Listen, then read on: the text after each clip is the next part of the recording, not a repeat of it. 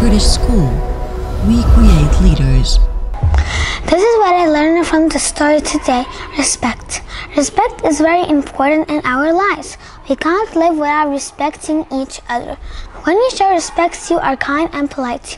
You talk to someone in the same way you want them to talk to you. I show respect to the people around me. I show respect to the older people.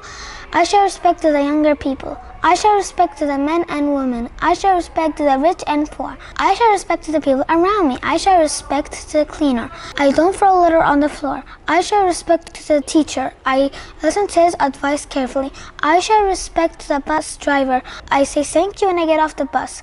I show respect to the dentist. I listen to her advice carefully. Minia British School.